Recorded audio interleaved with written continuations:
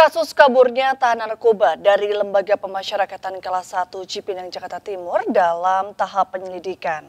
Kepala Lapas Kelas 1 Cipinang mengakui adanya kelalaian petugas saat melakukan penjagaan narapidana.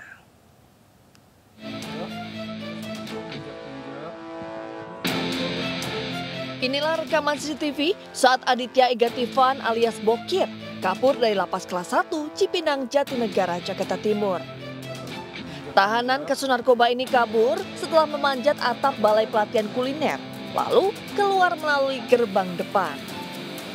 Usai kejadian, pihak lapas membuat selebaran daftar pencarian orang dengan memuat foto pelaku. Pihak Kalapas mengakui adanya kelalaian petugas jaga hingga tidak ada yang mengetahui pelarian Aditya. Sementara, aparat Polres Metro Jakarta Timur telah melakukan olah TKP dan menyelidiki kasus tersebut. Nah, kami mengakui ada kecolongan.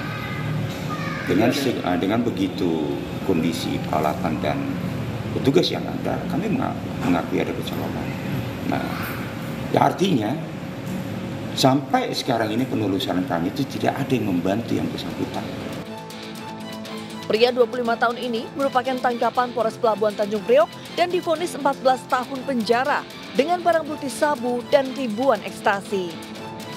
Dari Jakarta, Rio Manik, iNews melaporkan.